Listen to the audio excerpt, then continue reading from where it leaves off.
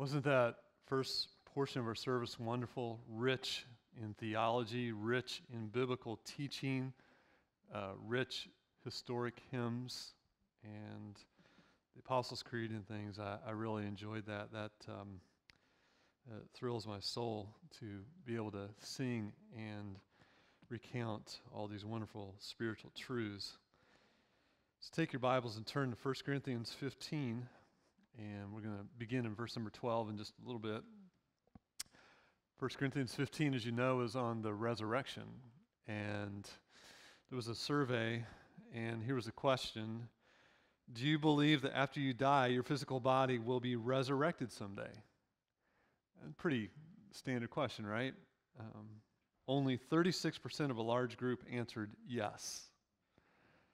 By contrast, these same people, uh, 63% were absolutely certain that Jesus died and physically rose from the dead. These statistics um, suggest a strong majority of Americans believe that Jesus rose from the dead, but only a minority of them think that they'll ever experience a bodily resurrection. More strikingly, a subgroup of these Americans, those who were evangelical Protestants who claimed a, a born again faith, uh, only 60% of them have confidence in a personal resurrection. That's pretty staggering, isn't it? Albert Mohler, in commenting on this, said this The vast majority of Americans simply have no idea that the Bible clearly teaches a doctrine of personal resurrection. And then he goes on to say, and that claim is central to the gospel itself, and that is absolutely true. Without a resurrection, you have no gospel, do you? They don't even understand it. There's no understanding whatsoever.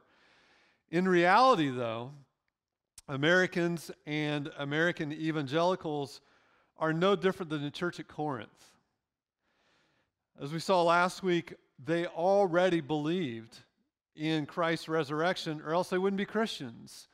I delivered unto you that what? That, that i received and that you already believe. He said all these things and they understood that christ was resurrected. Because christ was raised the resurrection from the dead obviously is possible. On the other hand unless men in general cannot be resurrected christ could not have been raised. Let me say that one more time. This is a very important statement okay because Christ was raised, resurrection from the dead obviously is possible, right? Unless men in general can be resurrected, Christ could not have been raised. The reason for that is that the two resurrections stand or fall together. There could not be one without the other. Absolutely cannot be.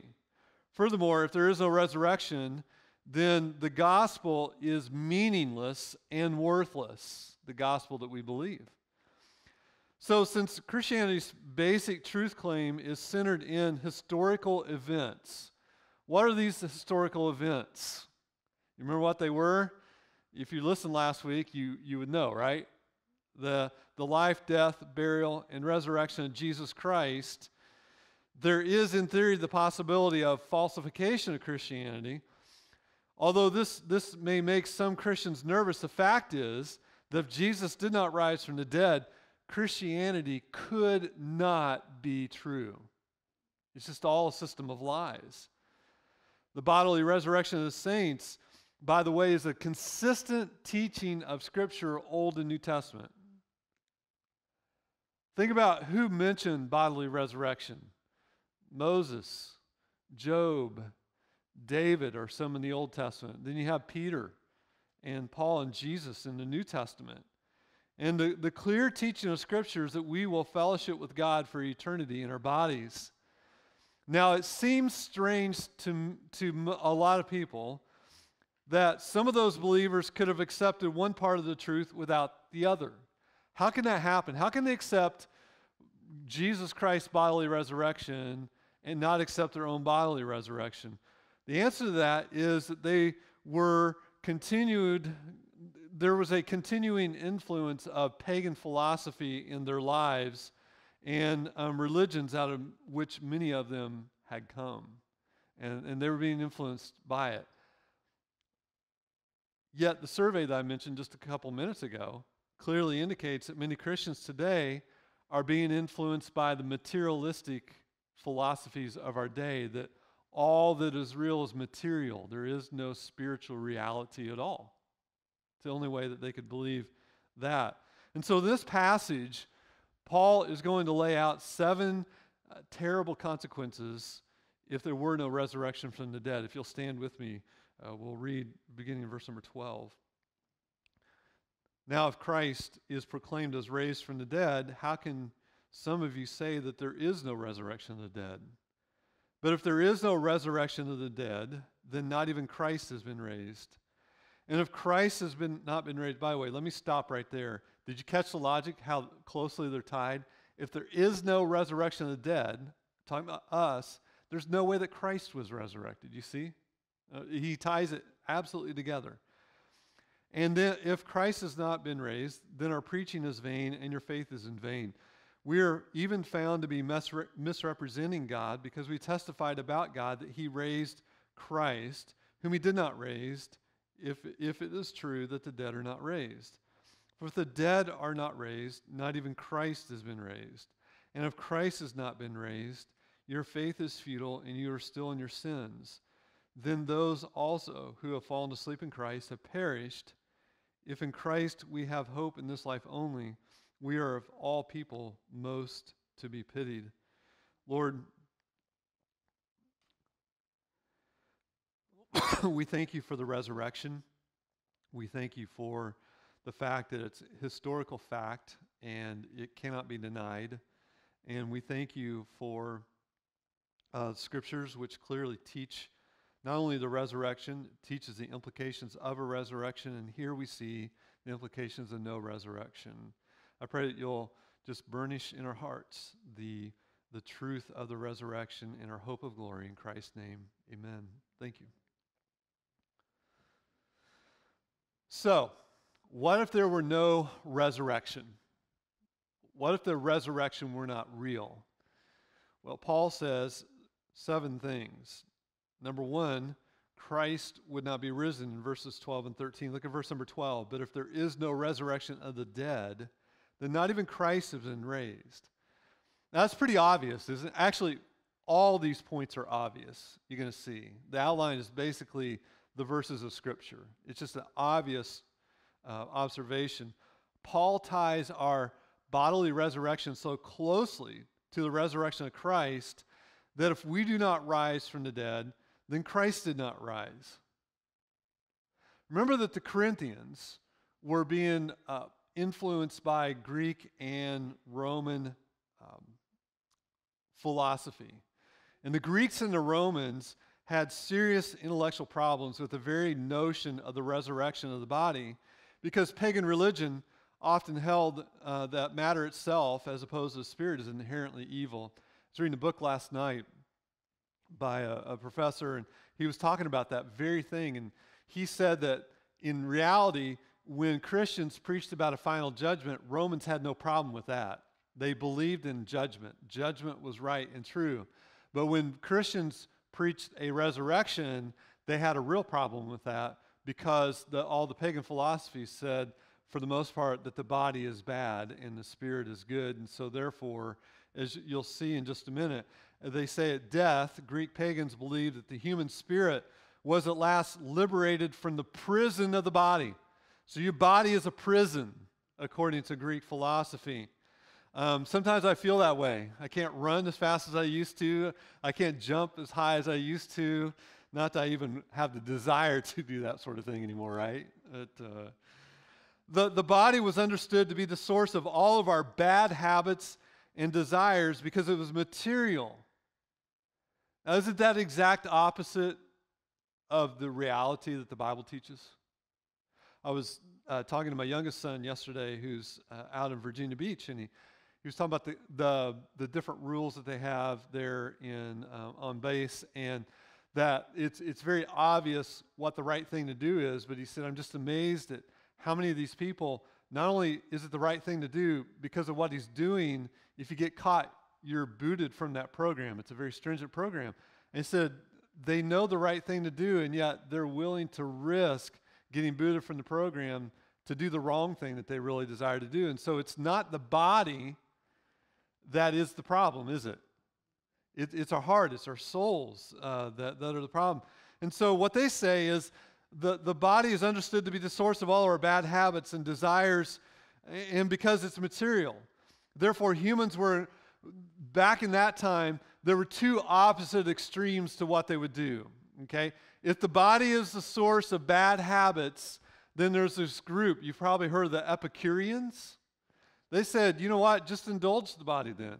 If it's going to die and release our soul, but you got all these wonderful appetites, and it's all going to pass away, just indulge it. Then the opposite extreme, the ones that you've probably heard of more likely than the Epicureans, were the Stoics.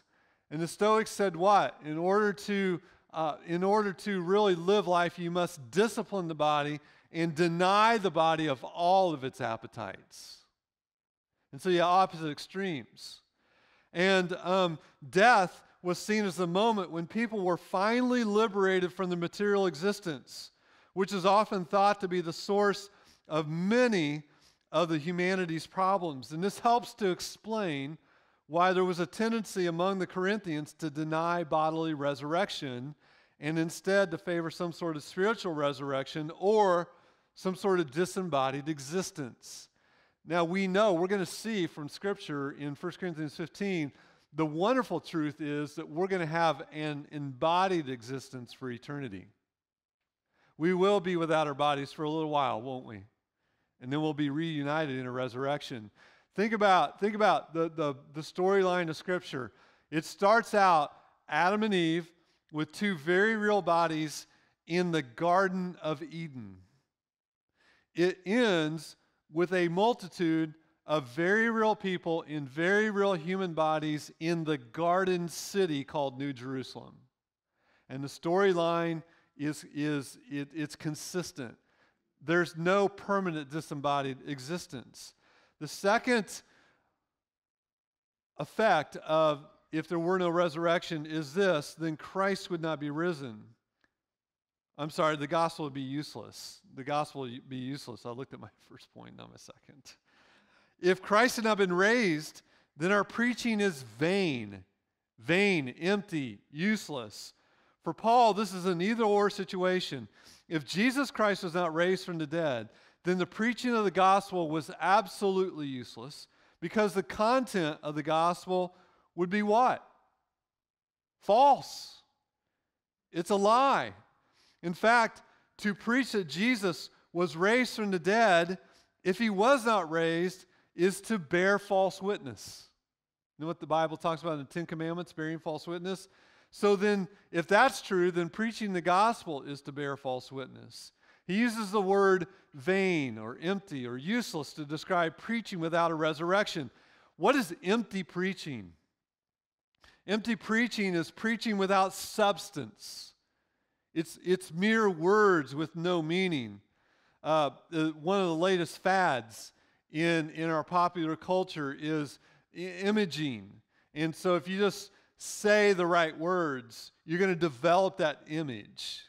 It's actually not a late fad. Remember all the way back when, when the, they would tell you, tell yourself, I am somebody? You know what I'm saying? That's just mere uh, uh, imaging. It's uh, another one. I don't know if you've ever, how many of you are on social media, but you see uh, so many women who have this, the Wonder Woman pose, where they're slightly turned with a hand on their hip. That's actually not a popular pose because it's a cool pose. It's a popular pose because there is an, an influencer with 60 million followers who says that if you strike that pose before you go into a meeting or in your pictures, it will give you power. That's emptiness. That's empty words. There's no need to preach because there's nothing to preach if there is no resurrection. Without the resurrection, the good news would be bad news. And there would be nothing worth preaching. There's no reason for me to stand up here if there is no resurrection. Without the resurrection, the gospel would be an empty, hopeless, meaningless bunch of nonsense. Can I say it that way? Because it's absolutely true. Also, from verse number 14, not only would preaching the gospel be useless, faith in Christ would be useless. And if Christ had not been raised, then our preaching is vain and your faith is in vain. What, what good is faith in a risen Savior is there, if there is no risen Savior? Be like, well, I can't say it. There's kids in here. But you know, in the winter, in the middle of the winter, there's this person whose initials are SC. You know who I'm talking about? Anyway, be, I bet you guys know what I'm talking about. Let's move on. If, if, if your creed tells you that Jesus has been raised from the dead, but that has not happened, and his body still lies in a tomb in Israel, then your faith is empty handed. It's also empty headed. Let me put it another way.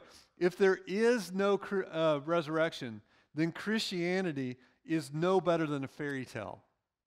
Wishful thinking.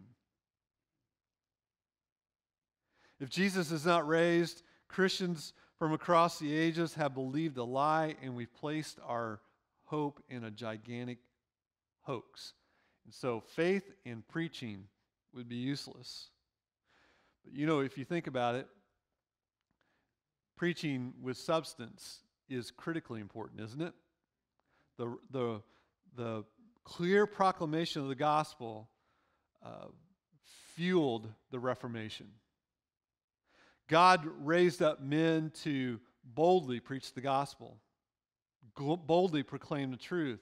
And biblical preaching led to the spiritual change that took place in the 16th and the 17th centuries, didn't it?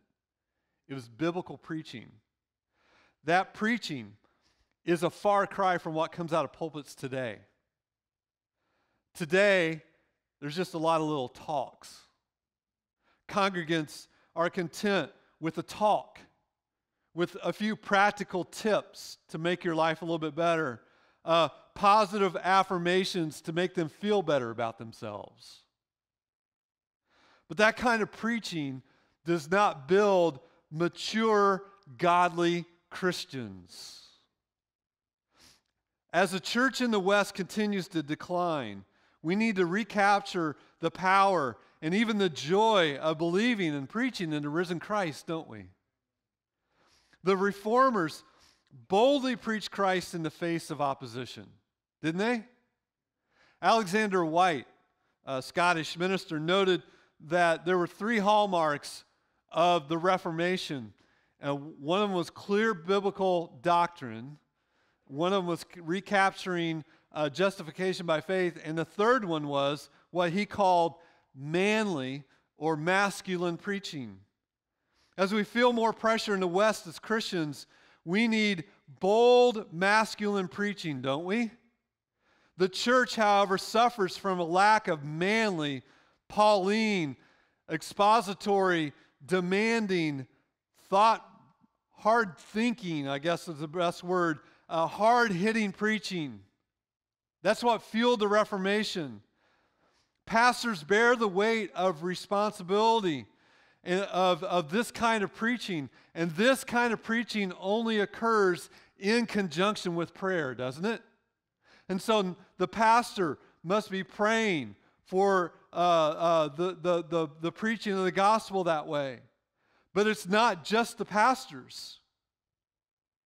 It's the church needs to bear the weight of that kind of, of praying as well.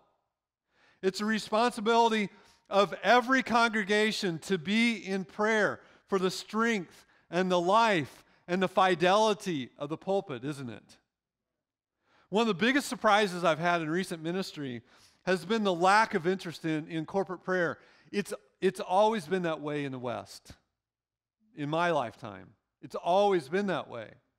But what I'm talking about is that you would think, as quickly as our culture is changing, going from being uh, taking, having predominantly Christian values to not having Christian values to now saying that we're the problem.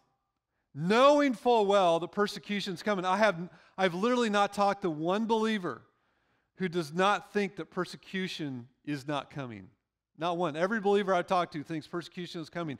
And you would think that the church, and I'm talking about the church in America, would be into corporate prayer, praying for the power of the gospel to work in people's lives. But they're still caught up in political initiatives. Let's influence our culture. Let's make sure we get the issues out there. Let's make sure that we vote the right person in. No, no, no, no. That's all. That's completely wrong. You remember when the apostles went out? What, what does the Bible say? The Bible says that they devoted themselves, the church devoted themselves to the teaching of the word, to fellowship, to preaching, and to prayer, didn't they? They devoted themselves to prayer. And Paul, who was in one of the cities, the, the accusation they made, made against Paul and the apostles is these are the men who have turned the world upside down. And why is that? It's because preaching is not useless because Christ has risen and one day we will rise. If there were no resurrection, then all preachers of the resurrection would be liars. Verse number 15 we are even found misrepresenting God if we testified about God that he raised Christ, whom he did not raise, if that is true, that the dead are not raised. If, if there's no such thing as resurrection of the dead, then every person who claimed to witness the risen Christ and every person who preached the risen Christ was a liar. They're all liars then. Paul, Peter, John, James, all of them, they're all liars if Christ did not rise. To deny the resurrection is to call the apostles and, and every other leader of the New Testament church not simply mistaken, but willfully mistaken. Or in other words, they're liars. If the apostles and the prophets and the New Testament writers lied about the heart of the gospel, why should they have believed anything else? Think about the fact we know they're not liars. How do we know they're not liars? We know they're not liars because they were maligned, they were beaten, they were imprisoned, and oftentimes they were martyred. And that kind of self sacrifice uh, is not the stuff of which some liar, some charlatan is made of, is it? If you're a charlatan, if you're manipulating people for money, you're not going to die for your belief. You're going to figure out, you're going to lick your finger and figure out which way the wind's blowing and start moving that way, aren't you? These men did not, because Christ Jesus did, in fact, rise from the dead. They're not liars. Amen? And so when we proclaim the gospel of Jesus Christ, we're not liars either, because Christ did raise from the dead. Next, all men would still be in their sins. Look at verses 16 and 17. For if the dead are not raised, not even Christ has been raised. And if Christ has not been raised, your faith is futile and you are still in your sins. A dead Christ would be the chief of disastrous consequences from which all the other consequences result. And that consequence is we would still be in our sins and we would still be judged by God for our sins. If Christ was not raised, then death has won, hasn't it? Death has won. It conquered Christ and it will conquer all who will ever live. Without Christ's resurrection as a vindication of his atoning death, sin has no solution. What does Romans 6:23 say? The wages of sin is death. In Jesus, if he is dead and he remains dead and he's in some tomb somewhere in Israel, then he has no power to forgive either. You see? And so it's disastrous to think about the fact if there were no resurrection. If there were no resurrection, all former believers would have eternally perished. Look at um, verse number 18. Then those also who have fallen asleep in Christ have perished. Every saint, Old Testament or New Testament Christian, who died would have forever perished. Those who have gone before us are dead with no bodily existence. And even worse, those who have died do not live on in the presence of God, awaiting the resurrection at the end of the age. And I do not know what it's like right now with a disembodied uh, existence, but at this time, according to Scripture, the saints who are in the presence of God are in the presence of God spiritually, and God is spirit, isn't He? They're spiritually with Him, and they are having the most joyous time of their life, but they're also eagerly awaiting the resurrection. And I don't know how all that works. All I know that's what Bible teaches. The bottom line is if Christ did not raise from the dead and we don't have a resurrection, then we place our trust in a dead man who cannot save us because he did not rise from the dead. And we're still in our sins, and our faith is useless, and there is no hope. And this life is all there, there, there is. And if this life is all that there is, I'm just going to be really blunt and direct. If this life is all that there is, then it doesn't matter what we do or how we live. Am I right? Now, think about our culture for just a minute. We live in a culture that's materialist humanist. There's no spiritual existence, only physical. So, guess what that means? How, how, many, let me ask, have you had the experience where you've called a company or something on the phone and you know they're lying to you? Somebody will call you right back. How many's had that experience? Yeah, all of us. How many have had the experience? The speed limit is 65, and somebody goes by you probably doing 90. Or maybe you're going by people doing 90. I mean, think about all the consequences, all the things, the wrong things that we see going on in our society. In, in, if you're just thinking, now I'm not talking about the existence of sin in the heart, but just thinking about the consequences of eternity. If there is no eternity, it doesn't matter if I follow the rules or not. It doesn't matter. There's, there's no reason to do good. There's no reason to love our neighbor. There's no reason to deny ourselves any sort of pleasure. There's a Russian novelist who said it this way everything is permitted, and that's that. And that's the society that we live in. Moral anarchy reigns. You get frustrated with government and, and what they're, they're doing. They're doing that because none of them believe there is an eternity. And so, therefore, they're going to do whatever they want. This is why so many in our culture dismiss the Christian truth claim without any consideration. If Christ be raised, they cannot do as they please. I don't know how many of you read the logic of some of the famous atheists, the, the apologists for atheism and evolution. There are several of them who have just been completely honest, who said, When I considered the existence of God, I decided I did not want to believe in God because if I believe there is a God, then I cannot uh, participate in all the immoral things, I won't mention them here, that I like to do. Right? And so you can live any way you want. And then the, the capstone of all this Verse number 19 If there is no resurrection, we are the most pitiable people on earth. Without the resurrection, Christianity is pointless. It really is. We're a bunch of fools. We're a bunch of rubes if there is no resurrection from the dead. If Christ is not raised, he's not alive, our Christian life is worthless. We have nothing to justify our faith. We have nothing to justify our Bible study. We have nothing to justify why you spend every Sunday here listening to me.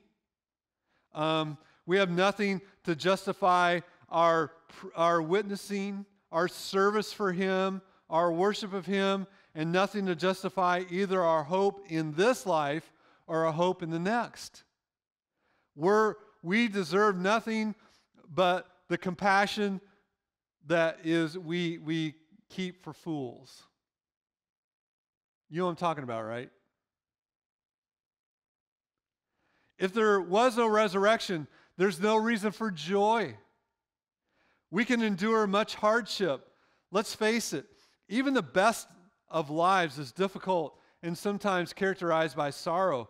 To live joyfully in life, we must live life full of the Holy Spirit, mustn't we? I cannot tell you.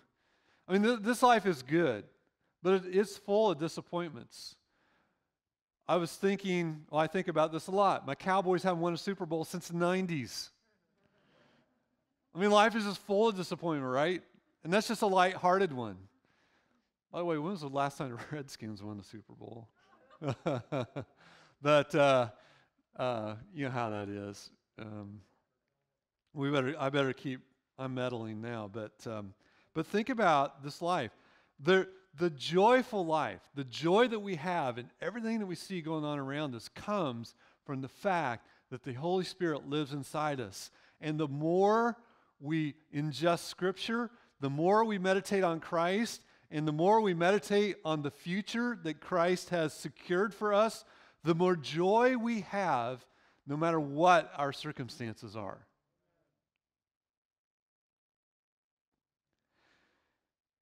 You find the source of true happiness and the source of abiding joy in the living Lord Jesus and the assurance that He is with you no matter what.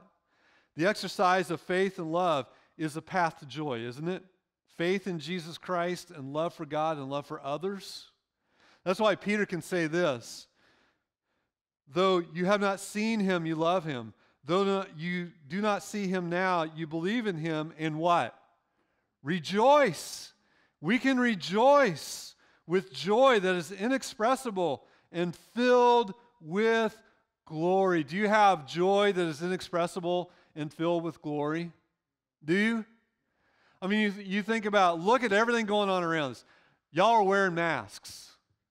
A year and a half ago, we would never have thought that situation come around. Everything got canceled last year. And, and, and now the, the, the, there's all kinds of political turmoil. And I talked to people. I was, um, I was in a tire store the other day. And of course, one of the guys started talking about politics. And, and so I, I kind of, have you ever, like, you don't really want to enter the conversation, but you just want to hear what people say. And so I said just enough to not just to keep the people talking, right? Several guys. And they were so upset by everything going on in our country. Just upset. Just listening to them. I, I thought to myself, you know, it is irritating.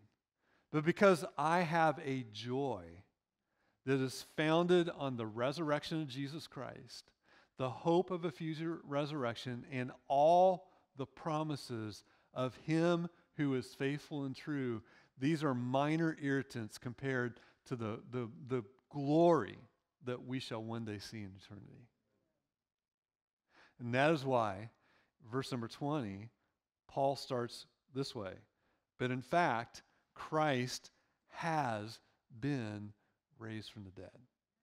Praise be to God. Rather than being the most pitiable people on the earth, we are the most blessed.